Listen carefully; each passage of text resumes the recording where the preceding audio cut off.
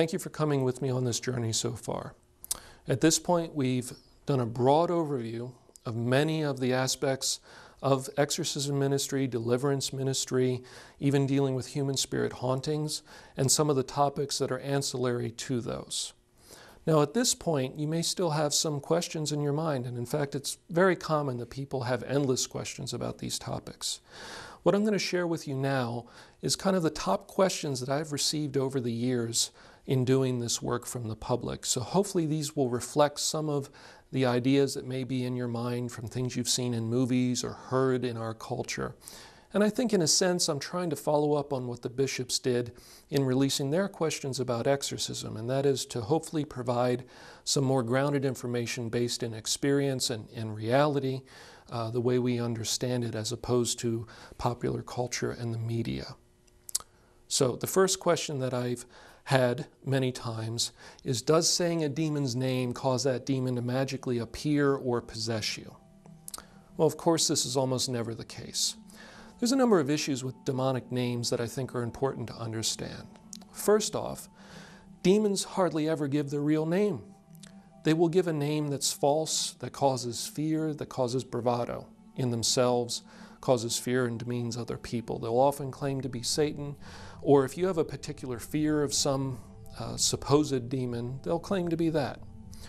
The reason demons don't give their true names out unless under great duress is that because if a priest has a demon's true name and prays against it by name, those prayers have greatly amplified effect on that demon.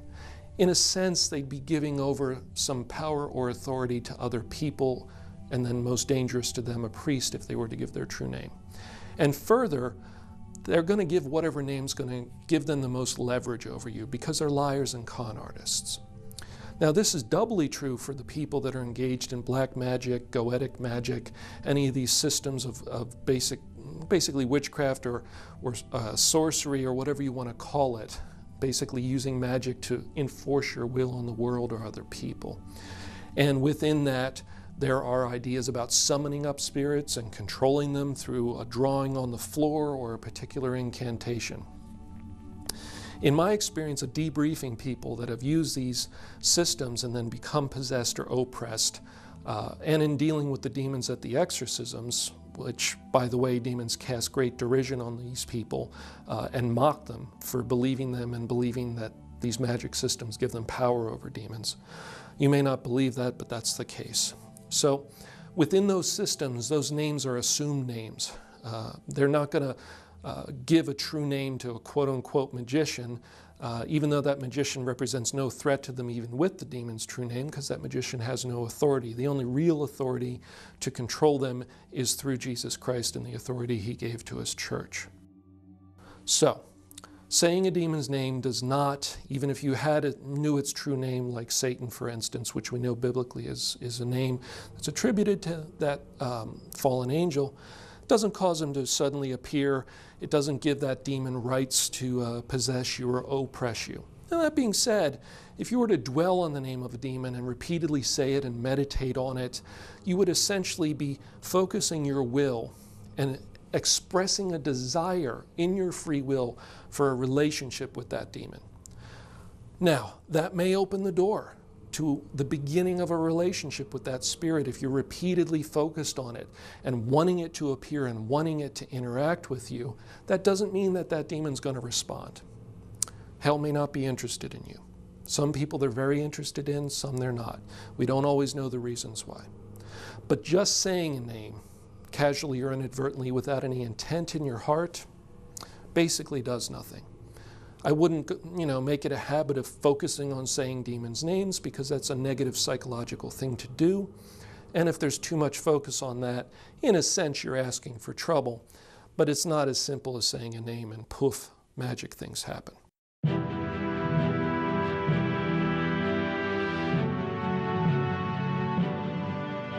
If a person has a demon's true name, do they have power over that demon because they have the name?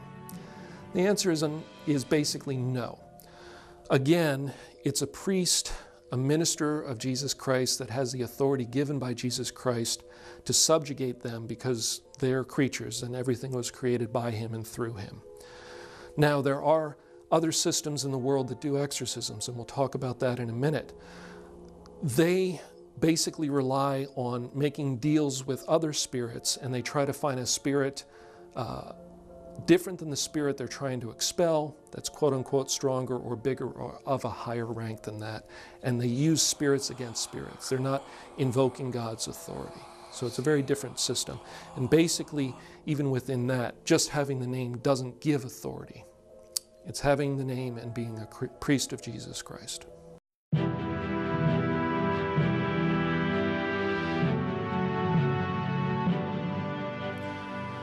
Another question Are Satan and demons in hell? Now, most people that know the Bible well know this is not the case, but many people in the popular culture don't. It's very clear scripturally that Satan was cast out of heaven down to earth to roam here till the end of time. We know that Jesus said he saw him fall like lightning from the sky. We know that in Revelations it talks about how he roams the earth and how St. Michael cast him out of heaven. We know that St. Paul talks about him roaming the world like a lion seeking who he can devour. And further, we see evidence in, in, our practical work all the time. They're constantly invading homes that they're given license to, they're constantly afflicting people that they're giving license to. It's obvious that many of them are just around, taking advantage of whatever opening they can get. Hell, formerly the lake of fire referenced in Revelation, is going to be used at the final judgment, which comes at the end of time as we know it. So, hell per se is not occupied yet. Now, damned souls that at their personal judgment at the time of death are damned are with the devil, they're a slave to the devil, they are tortured by the demons. And so you could think of them living in a state that's hell like because they are with the demons, and their experience is probably very hell like. And we can't imagine what that is. It's probably far worse than any imagination uh, or, or image or movie that you've seen. So these souls that are damned probably are experiencing what you might call a hell like experience, but hell per se is not occupied. The demons are here on earth.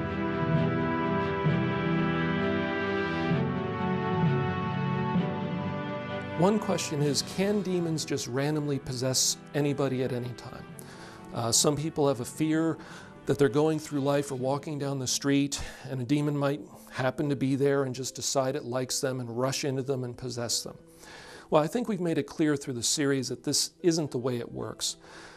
God has authority over demons. They're all on a leash. They all have limitations. And we have great authority over ourselves. Our free will is always in place. It's a gift from God that we use to choose God or, or evil. Selfishness, caring for others. All the choices about sin, about the commandments, about how we love each other, that free will is always present. And we have authority over ourselves. God doesn't allow the devils to just enter a person because they want to. They have to lay claim to that person through some legal right that that person is given through the exercise of their free will. Or somebody who had authority over them when they were young, like a parent or grandparent parent combination, when that person was not of the age of reason, those parents have a spiritual authority over that child until they're of the age of reason. So sometimes a person is demonized and they didn't ask for it, but their parents did, the people with authority did. And it's often very limited uh, until that person gets help because it seems that God understands that there's a limited culpability there for that person. They didn't really ask for it. But the authority of the parents is still binding when they're young.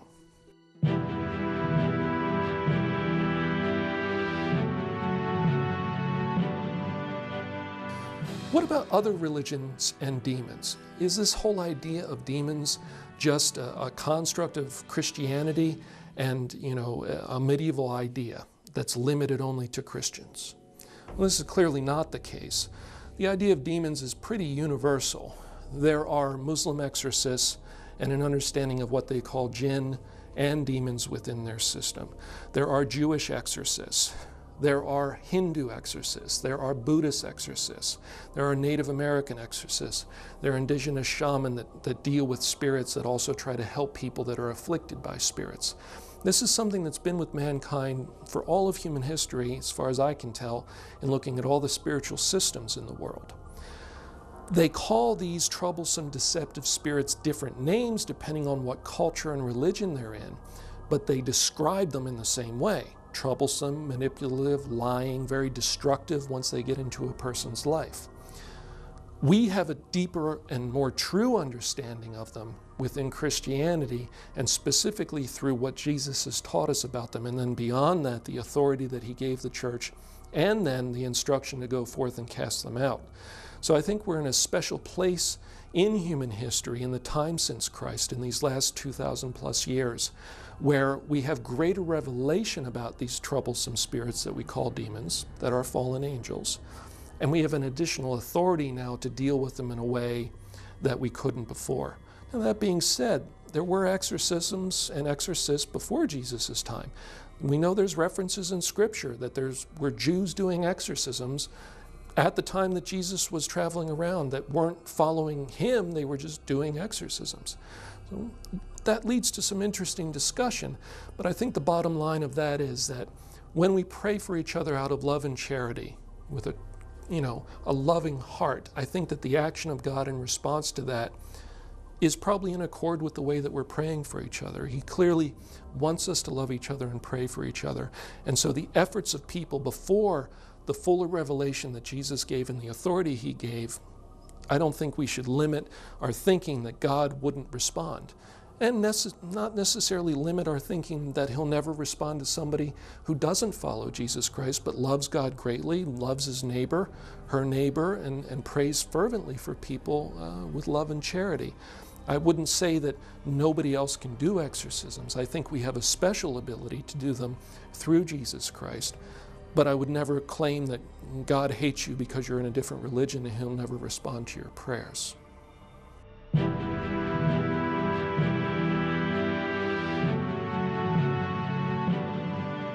Another question I get is how do you become a demonologist? You know, I've heard all this, and uh, now that I've heard it all, I'm excited by this idea.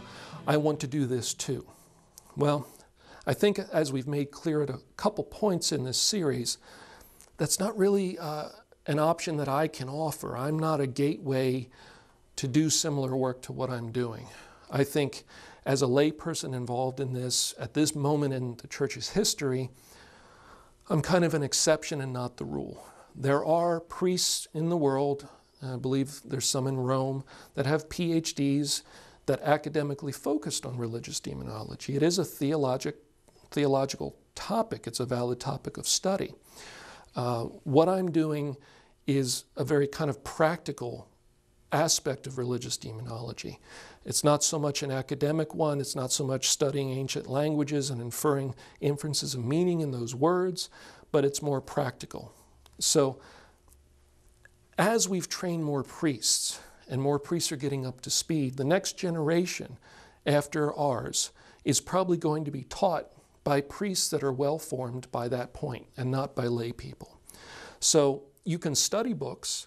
You might even be able to find some transcripts of old exorcisms. You might watch the movies and try to glean something there, though Hollywood's always going to distort things. It's not a good place to learn about spirituality or this ministry. But unfortunately, you're never going to learn the real nitty gritty and the real depth of what goes on at an exorcism. We keep that in the verbal tradition, as we've said a number of times in this series, to protect the public from information that could be misused or could bring harm to them if they use it in the you know with an improper context or an improper format. So if they're not a priest, they're not appointed, but they've learned some certain things and they think they can apply them just because they know them intellectually. So we're careful there. You can learn out of curiosity to an extent through the books. The danger here, though, is you can develop an obsession about demonic theology, the demonic aspect of the spiritual world. And I've seen people that have gotten very wrapped up in this and they get their fear going and their imagination going, and then they read more and more, and then they start studying the websites that, that are about it, which most of them are just people making stuff up or uh, copying stuff from books from the Middle Ages that was very spurious and and not to be relied on. So you can develop a very unhealthy spirituality. Uh, the simplest way to put it, my friend Father Fortea, early on when I was learning from him, he said if you just base your spirituality on demons and demonology, it would be like a hand where only one finger has grown very long and strong and all the others are stunted. What was to be a hand and to do good work and be useful has now become monstrous. And so we don't want to narrow our spirituality down to focus on demons. I'm basically saying it's not terribly healthy to focus on religious demonology in terms of your spirituality. I try to keep mine as balanced as I can and focus on a wider range of spiritual topics and, and, Catholic formation as I struggle through life with my own sins and my own weaknesses. So basically, I don't think you want to be a religious demonologist, even if you think you do.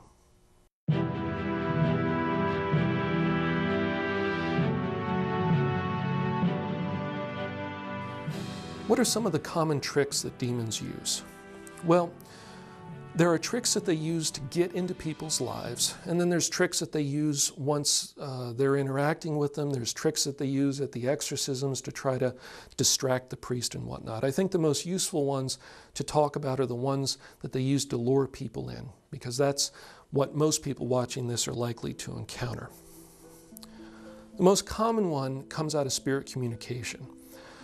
And this is to pretend to be something other than a demon, some spiritual thing other than a demon, and lure a person into a relationship, pretend to be something good, pretend to be uh, something helpful, pretend to be a spirit guide, pretend to be a guardian angel, pretend to be a totem animal, pretend to be somebody's dead grandmother, uh, pretend to be God. Whatever it may be, it's going to be tailored to that specific person. The easy way to cut through all, all of that is to remember that a soul in purgatory is only allowed to ask for prayer or help, and that's it. They don't play 20 questions, they don't tell you all about their past and where they died and things that they did, or ask you questions or tell you what to do, none of that. They just ask for prayer or masses, prayer, that's it. So if anything's playing questions with you and feeding you information and teasing you with information and trying to get you to ask more questions, that's not a human spirit could be a damned human spirit that's working for the devil, but basically a soul in purgatory is on its way to heaven. It's not going to lure the living into a very serious sin, a violation of the first commandment, turning to a spirit other than God for comfort and information, which is really what you're doing when you're talking to the dead. So uh, we want to be very careful with spirit communication. That's, that's the first one. Second one is uh, predicting the future. All right, they will sometimes feed people information about um, what seems to be quote unquote psychic information about events that are going to happen. Now, they will, some, they will often do this as a way to build up some reliance in a person on that spirit. So they predict something, it seems to, and it happens, they seem to be right. And they do this a number of times. And then the person sometimes wonders, oh, is it me? Do I have a gift? Is, is that just me? or is something helping me? And then later, the demon will reveal its presence in some way.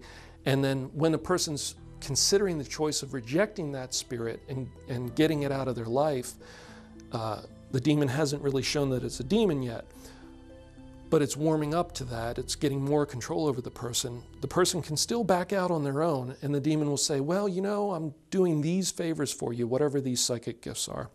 Uh, you don't want to get rid of me because I'm doing all these favors and I'll do even more favors for you later. So basically, one of their tricks is uh, to provide that. Now, the demons don't know the future, but what they do know is what they're going to do tomorrow. And they know very well people that they're watching, and there's people out there that they have a great amount of control over. So they can predict what they're going to make somebody do tomorrow. So it can look very much like they know the future but only God knows the future. And that's, that's pretty clear scripturally, and it's also clear through experience. These are just two of the tricks that demons do. There are others, but essentially, it's all about lying. It's about making the demon seem powerful because they want to be worshiped, they want to be glorified, they want to steal that glory from God, they want to be feared because fear leads to them controlling you.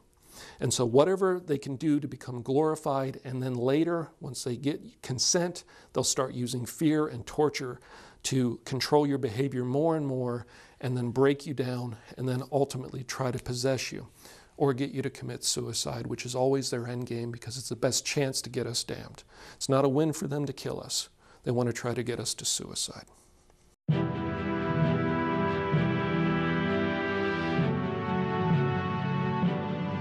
Another common question is what movie is accurate or is a thing I see in movies true? You know, this particular event or that event. None of the movies are completely accurate. They all have some exaggeration or distortion of things. Of course, Hollywood exaggerates to get attention.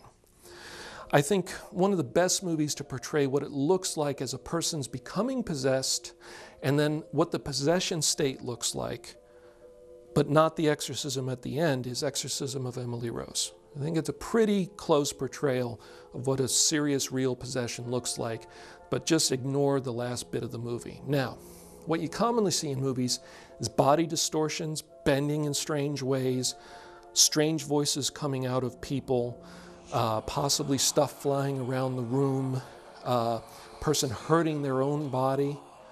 A lot of that does happen. Uh, the body will bend in ways and become plastic or flexible in ways that it doesn't for normal people, and it can be pretty extreme.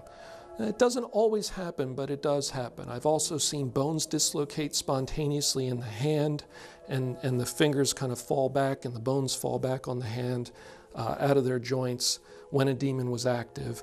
And then when that demon left and switched to a different spirit, you look down and suddenly the hand is back in place. So things like that can happen. Uh, the body can bend in extreme ways when a demon is using the body. The body can become extremely strong. Uh, the body can suddenly give off a horrific odor from all parts of it that radiates out from it, and as soon as that particular demon switches out, like that, it's gone. So there are a lot of body effects that we do see. We don't see them all the time. Usually, what we do see is the voices, where the voice will has two versions. One, it will change, where it'll become deeper, or more feminine, or have a different tone to it. That's one version. Often it'll be typically demonic, guttural, deep, animalistic. There's a different version of that that I've only seen once, and that is when the person has their mouth open, they're not using their lungs like I am right now talking. Their mouth just hangs open, and out of them bellows a voice that sounds like it's coming from something with a chest about this big, and it just fills the room uh, instantly and doesn't sound like anything of this earth. That's a different voice where it's a purely supernatural voice, preternatural actually, excuse me. I've only heard that once out of a person, and I've only heard a demon speak out of the air once, a disembodied demon, and it was a very guttural voice and it was very physical. So the voice thing can happen. I've also heard multiple voices coming out of a person simultaneously, uh, of various disturbing timbre. Uh, I've also heard what I'm pretty confident is, is backward speech coming out of a person. So there's a bunch of things that can happen with the voice and the speech. There's a demonic version of tongues that they can use. It sounds like more of a full language as opposed to typical tongues with people, which is a few syllables. Uh, there's a bunch of things with voice and speech that we see. Um, the eyes do not go all black like in some movies. That doesn't happen. The pupils can get very large. So it can look like the, the iris is black. Now, there is an exception to this. I've seen one video clip of it, and I'm not confident that it was legitimate because I wasn't there when it happened.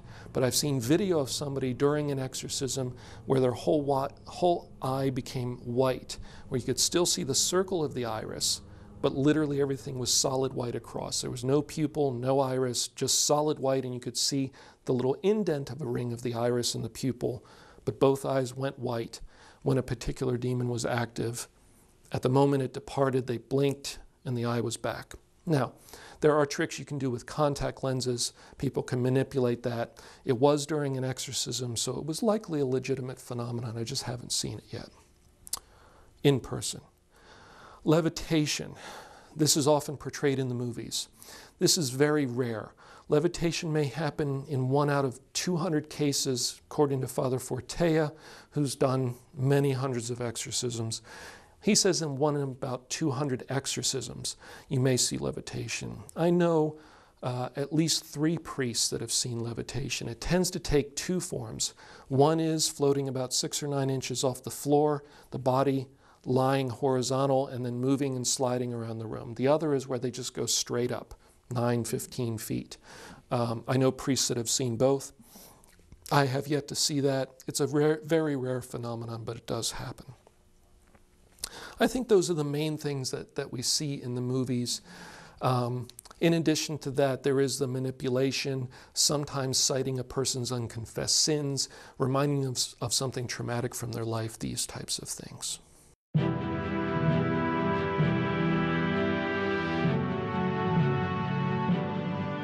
Finally, uh, a bit on the Ouija board, which is often brought up in various places.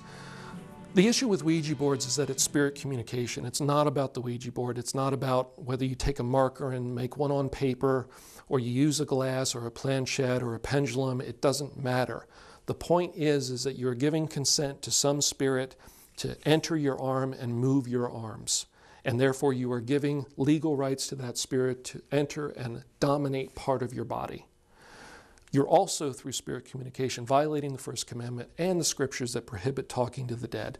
And so you're opening a lot of doors through doing that. It's just that the Ouija board is a popularized uh, game that facilitates that. So you just want to be careful with spirit communication and think through what you're doing and understand that you don't know what's going to answer when you pick up that spiritual phone and just offer to talk to anybody. So just please avoid all of that. So, we're coming to the end of our series now. I appreciate all the time that you've given to thinking about these things, to listening to these ideas. This was a broad overview. You can learn a little bit more from my website, religiousdemonology.com, where there's a lot more information and articles and questions.